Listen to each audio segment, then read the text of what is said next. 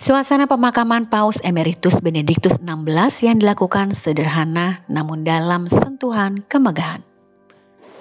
Ribuan orang datang bergegas mendatangi lapangan Basilika Santo Petrus, Vatikan. Mereka datang untuk menghadiri prosesi pemakaman Paus Benediktus XVI pada Kamis 5 Januari. Para peziarah memadati lapangan Basilika Santo Petrus meskipun saat itu Vatikan tengah diselimuti kabut yang tebal.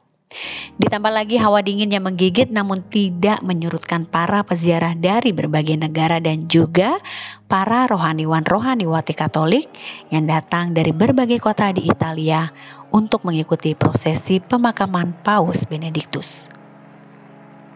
Paus Emeritus Benediktus XVI berusia 95 tahun meninggal dunia di penghujung tahun 2022 Tepatnya pada tanggal 31 Desember 2022 ini, jenazahnya sempat disemayamkan selama tiga hari di dalam gereja Basilika Santo Petrus, Vatikan.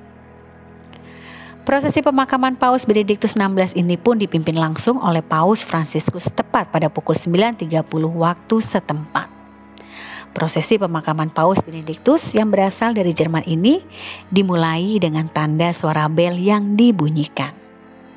Kemudian prosesi pemakaman Benediktus akan sama seperti pemakaman paus lainnya, namun akan ada beberapa penyesuaian.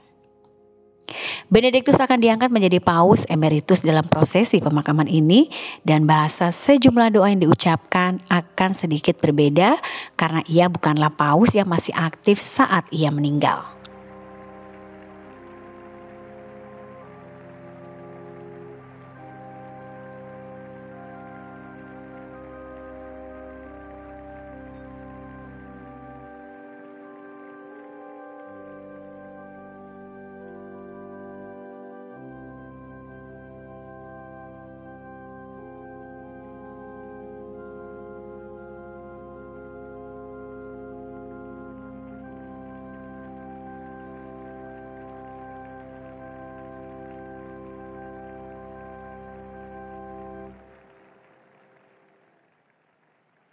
Jangan lupa subscribe ya.